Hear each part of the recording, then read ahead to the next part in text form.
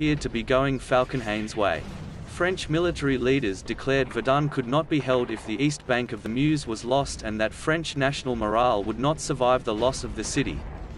At this point, however, Crown Prince Wilhelm and his staff stopped following Falkenhayn's strategic concept and committed the Fifth Army to greater offensive action. The seizure of ground became the priority and by the end of February, German losses at Verdun were similar to the French casualties. General Philippe Pétain was then given command of the French Second Army at Verdun.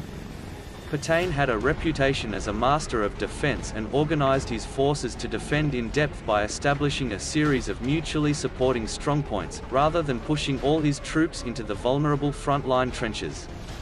Pétain also rotated units through Verdun on a regular basis and whilst this exposed much of the French army to the battle, it ensured troops did not spend long periods of time at the front, the French also greatly increased the number of artillery pieces at Verdun, leading to the Germans suffering equally from incessant shelling.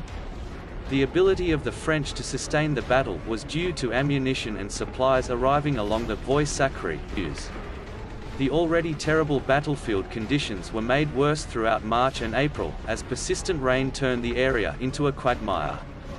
In late April, General Robert Nivelle took over French command from Pétain and began large-scale counter-attacks. This offered the Germans a chance to return to Falkenhayn's strategy, but by this time all sense of the original concept was lost, replaced by a fixation to take Verdun. In early June the Germans took Fort Vaux after very tough fighting. This proved to be their final success. Efforts to continue the advance later that month failed, despite the use of phosgene gas. On 24 June, the Allied bombardment began on the Somme. The German offensive at Verdun was reduced